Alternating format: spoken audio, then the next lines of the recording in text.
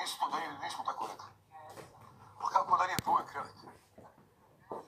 Pa on je počeo da svaća oko jastuka.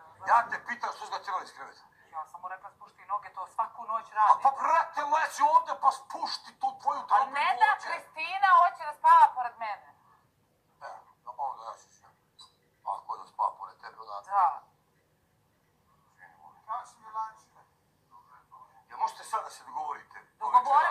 Mi već. Gdje će ko spavati? Dogovorile smo se.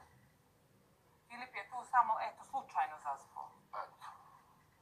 Ako, I ako slučajno opet dođe, ja, Ja ću leći preko slučajno njega. prekineš da snijedeš govor. Dobro, ja ću leći preko njega i pokriću se.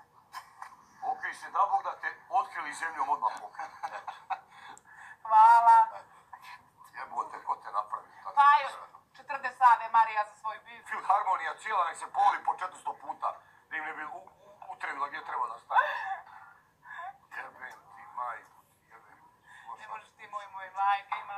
Ima li jedna budala da bi moji džilaj vjeliti.